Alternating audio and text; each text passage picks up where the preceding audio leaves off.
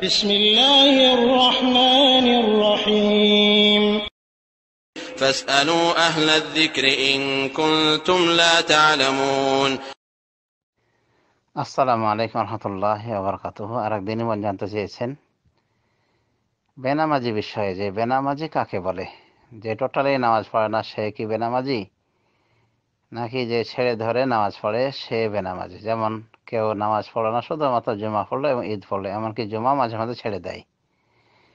তো এ বেনামাজির ভিতরে পড়ে কি পড়ে না? এ নামাজি না বেনামাজি? আসলে দেখেন, বেনামাজি মানে কাকে বল- বলতে হবে? যে এক নামাজ ছেড়েছে, সে কি বেনামাজি অর্থাৎ তার একটা সালাহ? নাকি যে পাঁচ অক্ত ছেড়ে দিয়েছে? এক কথায় কোনো নামাজেই নাই, টোটালেই কোনো নামাজ পড়ে না, সে হলো বেনামাজি। এ বিষয়ে বিদ্যান্তের ভিতরে একতলাফ রয়েছে।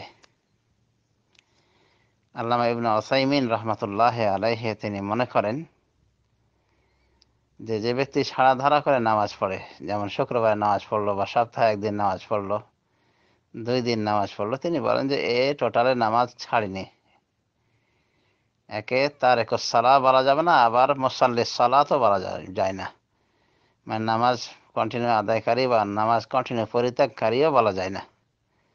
তিনি বলেন, হাদিসের ভিতরে যে বলা হয়েছে, বাইনাল আব্দুল কুফরে ও শিরকে তার সালা মুসলিম বান্দা এবং কুফর ও শিরকের মাঝে পার্থক্য হলো সালাতের। তো এই যে সহি হাদিস, মুসলিম শরীফ হাদিস তো এই হাদিসের মধ্যে তার্ক সালা বলতে কি বোঝানো হয়েছে? মানে সালা ছেড়ে দেওয়া বলতে বলতে কি বোঝানো হয়েছে? শেখ ইবনে হোসাইন বলেন যে এর দ্বারা তারকে মতলাক মানে টোটালেই ছেড়ে দেওয়াকে বোঝানো হয়েছে। সুতরাং যে কোনো নামাজে নেই, না পাঁচ ওয়াক্ত নামাজে, না জুমার নামাজে, না ঈদের নামাজে, কোনো ওয়াক্তেই যে নামাজ পড়ে না। এক কথায় টোটালেই যে নামাজে নাই, সেই হলো উদ্দেশ্য এই হাদিস দ্বারা। তারকে আম মানে টোটালেই যে নামাজ পড়ে না। তাকে উদ্দেশ্য করা হয়েছে। এই জন্য উনি বলেন যে যে ব্যক্তি জুমার নামাজ পড়ে বা ছেড়ে ধরে নামাজ পড়ে, আমি তাকে কাফের বলতে পারি না। তবে সে ফাসেক। সে বড় ধরনের পাপাচারী। তার মানে বলা যায় যে, বর্তমান মুসলমানদের যে অবস্থা এরকমই। বেশিরভাগ মুসলিমদের অবস্থা এই যে, হয়তো তিন অক্ত পড়ছে, দুই অক্ত ছাড়ছে বা তিন অক্ত পড়ছে, দুই অক্ত ছাড়ছে বা চার রক্ত পড়ছে, এক- অক্ত ছাড়ছে বা জহর জুমা পড়ছে, এভাবে। তো এই বেনামাজিকে বেনামাজি নয়, বিতর্কিত বিষয়। হ্যাঁ আর এর উপরে তারা ফয়সালা দিয়েছেন মানে কাফের হওয়া বা মুসলিম হওয়া। তো যারা মনে করেন তারকে মতলাক একেবারে টোটালি ছেড়ে দেওয়াটা কুফরি, তারা ছাড়া ধারা করা ছাড়া ধারা করে নামাজ আদায়কারীকে কাফের বলেন না, এবং জমহুর আলমেদিন এদিকে রয়েছেন। কাফের না বলার দিকে গিয়েছেন। তবে জমহুর সাহাবা সালা ছেড়ে দেওয়াকে কুফরি গণ্য করতেন। এখন ওদের এই ছেড়ে দেওয়াটা নিয়েও একতলাপ দেখা দিয়েছে যে ছেড়ে দেওয়া কোন ছেড়ে দেওয়াটা? একেবারে এক অক্ত ছেড়ে দেওয়া না টোটালে ছেড়ে দেওয়া। তো যা হোক আলামের দিনের দুটো ভাগ রয়েছে। এক শ্রেণি মনে করেন যে এক অক্ত নামাজ ছেড়ে দিল সে বেনামাজি। সে তার একে সালা বলে গণ্য।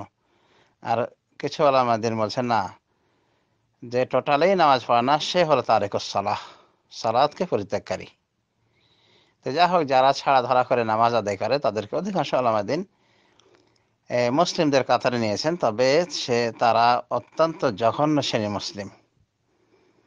আর চার ইমামদের চার ইমামের ভিতরে তিন ইমামের একই মত যে তার যে ব্যক্তি ইচ্ছা করে নামাজ ছেড়ে দেয় তার শাস্তি হলো মৃত্যুদণ্ড যা কার্যকর করবে দেশের মুসলিম সরকার ইসলামী রাষ্ট্রের মুসলিম সরকার। এটা পাবলিকের দায়িত্ব নয়। হ্যাঁ তো এই অভিমত ব্যক্ত করেছেন তিন ইমাম ইমাম শাফি, ইমাম মালিক, ইমাম আহমদ বিন হাম্বাল। এবং এই তিন ইমামের ভিতরে দুই ইমাম বলেন যে তাকে হত্যা করা হবে তার এই সালাদ পরিত্যাগের শাস্তি হিসেবে। পক্ষান্তরে ইমাম আহমদ বিন হাম্বাল বলেন যে, না, শাস্তি হিসেবে নয় এটা সে মোরতাদ হয়ে গেছে সালাদকে পরিত্যাগ করার কারণে মোরতাদ হয়ে গেছে, এ কারণে তাকে হত্যা করতে হবে। তাহলে দেখা যাচ্ছে যে সালাদকে পরিত্যাগ করে। তার শাস্তির বিষয়ে চার ইমামই একমত। কিন্তু তিন ইমাম মৃত্যুদণ্ডের মাধ্যমে শাস্তি চেয়েছেন। আবার তাদের ভিতরে একটা বুঝতে পেরেছেন যে কি হিসেবে শাস্তি? সালাদ পরিত্যাগের শাস্তি নাকি মোরতাদ হওয়ার শাস্তি? তো ইমাম আহমদ বিন হাম্বল তাকে নন মুসলিম গণ্য করেন এবং মনে করেন যে মরতাদ অতএব তার হত্যার পরে তাকে কোনো গোসল দেওয়া যাবে না। কাফন, দাফন, জানাজা, এমনকি মুসলিমদের কবরে তাকে কবর মুসলিমদের কবরস্থানে তাকে কবরও দেওয়া যাবে না। পক্ষান্তরে ইমাম মালিক, ইমাম শাফি তাদের কথা যে এটা নামাজ পরিত্যাগ করার কারণে সে শাস্তিযোগ্য অপরাধী হয়েছে। আর তার অপরাধের প্রাশ্চিত হলো তাকে হত্যা করা।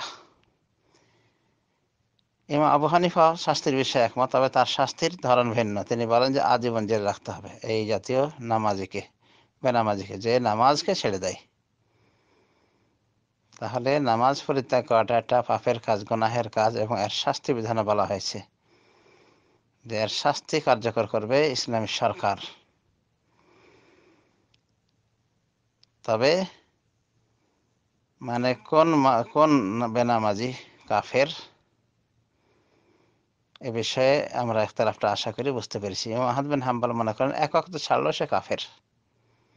পক্ষান্তরে অন্য আইম্মায় মহাদেসিন আইম্মায় কেরাম তারা মনে করেন যে না টোটালি যে ছেড়ে দিয়েছে সে কাফের কিন্তু ছাড়া ধরা করে যে নামাজ আদায় করে তারা কাফের নাই জমহর আলমদিন এটাই ফয়সালা এদিকে গিয়েছেন শেখুল সাইমিন তাইম রহমতুল্লাহ আলাইহে এবং বর্তমান যুগের অনেক আলামায় কেরাম যেমন শেখ এমন ওসাইমিনের কথা জানতে পারলেন এই মাতেরই প্রবক্তা হলেন ভুবন জড়া মহাদ্দেস আল্লামা নাসের উদ্দিন আলবানী রহমতুল্লাহ আলহে তিনি এই বিষয়ে একটি কিতাব লিখেছেন হকমত আরেকে সালাহ নামক। সালাত পরিত্যাগকারী, সালাত পরিত্যাগকারীর বিধান। এখানে তিনি সালাত পরিত্যাগকারীকে মানে ফাসেক পর্যায়ের মুসলিম গণ্য করার দিকে গিয়েছেন এবং কাফের যারা বলে তাদের প্রতিবাদ করেছেন। তালাকুল্লাহ হাল বেনামাজির বিষয়টা আশা করি বুঝতে পেরেছেন। তো যারা টোটালেই ছেড়ে ধরা মানে সালা ছেড়ে দেওয়াকে কুফুরি মনে করেন, তাদের দৃষ্টিকোণ থেকে বর্তমান যুগের যে মুসলমান আমরা দেখতেছি, ছাড়া ধরা করে নামাজ পড়ছে বা জমা নামাজ পড়ছে, এদেরকে তারা কাফের গণ্য করেন না। তাদের কথা যে আল্লাহ রসুল আসলামের যুগেও এরকম কিছু ছিল, যেমন মোনাফেদের সামনে বলা হয়েছে, তারা সালাতুল এশা, সালাতুল ফজর আসতো না।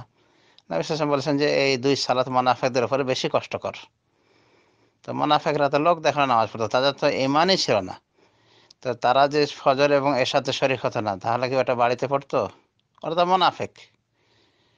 বাড়িতে অবশ্যই তারা পড়েনি। তাহলে দেখা আছে যে নামাজ দু এক দু এক অক্ত ছেড়েছে মোনাফেকরা, কিন্তু এরপরও রাসুল সাল্লাহ সাল্লাম তাদের সাথে মুসলিমদের আচরণ করেছেন। শুধু কলমের বদলতে তারা রক্ষা পেয়ে গিয়েছে। সুতরাং বর্তমান বেনামাজি যারা এইভাবে ছাড়া ধারা করে নামাজ পড়ে এদের, এরা আর যাই হোক, ওই মানাফেদের থেকে নিকৃষ্ট নয়। তো আল্লাহ রসুল সাল্লাম ওই মানাফেদের সাথে যেহেতু মানে মুসলিমদের আচরণ করেছেন, সুতরাং বর্তমান জামানার যে সমস্ত ধারা করে সালাত আদায়কারী মুসলিম এদেরকে কাফের বলাটা অধিকাংশ আলামায় দিন গ্রাহ্য করেননি। তবে তারা যে জঘন্য শ্রেণি মুসলিম, এটা আমাদের বুঝেই আসছে। কারণ যে ব্যক্তি নামাজ পড়ে না তার থেকে যে কোনো পাপই ভালো। এ চুরি করে চুরিকারী চোর ভালো, গন্ডা ভালো, লোচ্চা ভালো তারপরে বেশ্যা, জেনাকার ভালো, যদি তারা নামাজ পড়ে। এগুলো করে আর নামাজ যদি যদি পড়ে, তাহলে এরা সবাই তার থেকে ভালো। তাহলে বেনামাজি একটা যে জঘন্য শ্রেণি, আমরা বুঝতে পেরেছি। তো এই হলো উত্তর। বেনামাজি বিষয়ে। বারাকাল্লাহ ফিকুম।